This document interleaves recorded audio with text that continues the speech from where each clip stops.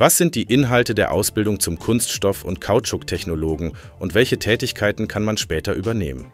Also die Ausbildung besteht darin, man lernt die Maschinen, die Spritzgussmaschinen einzurichten, sprich man hängt das Werkzeug ein in die Maschine, befestigt es und dann gehört natürlich noch dazu, Wasser- bzw. Ölkreisläufe an die Form anzubringen. Je nachdem, welches Material man verarbeitet, müssen die Werkzeuge anders temperiert werden. Und dann kommt natürlich noch dazu das Einstellen der Maschine, sprich Spritzdrücke, Kühlzeiten, generell Geschwindigkeiten, wie schnell man in die Form einspritzt, die alle einzustellen, teilweise auch vielleicht auszurechnen und damit dann dafür zu sorgen, dass das Teil am Ende des Tages die Qualität hat, die der Kunde gerne wünscht.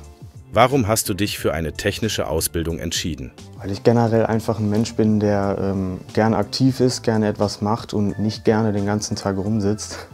Und ähm, dementsprechend war es eigentlich für mich schnell klar, dass ich irgendwas Technisches machen möchte. Erzähl uns von deinem Arbeitsalltag.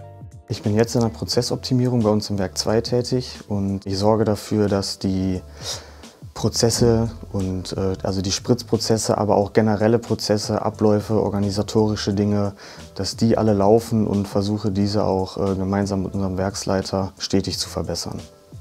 Mit 24 Jahren übernimmst du bereits Führungsverantwortung. Wie ist das für dich? Anfangs war es nicht leicht, aber ich denke, ich habe schnell gelernt und konnte dem Druck ganz gut ähm, standhalten, weil ich so ein bisschen ins kalte Wasser geschmissen wurde. Aber ich habe viel daraus gelernt und generell auch viel für, mein, für meinen Arbeitsalltag und generell auch meinen Alltag und für mich selber als Person viel mitgenommen.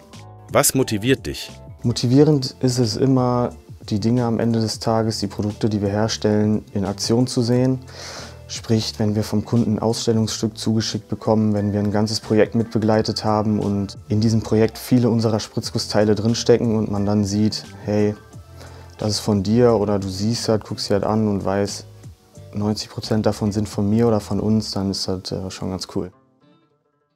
Walter. Innovative, Foldable, Sustainable.